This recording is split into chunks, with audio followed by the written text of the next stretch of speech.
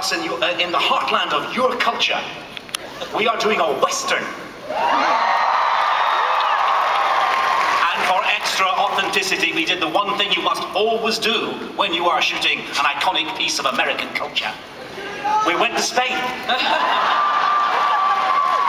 we're now going to show you our version of your culture.